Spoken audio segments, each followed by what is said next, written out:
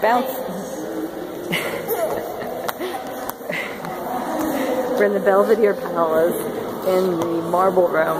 This is like the most elegant room and our children are bouncing on bouncy balls.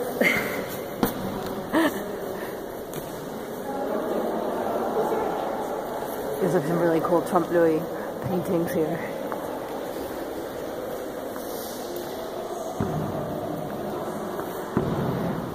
little electricity.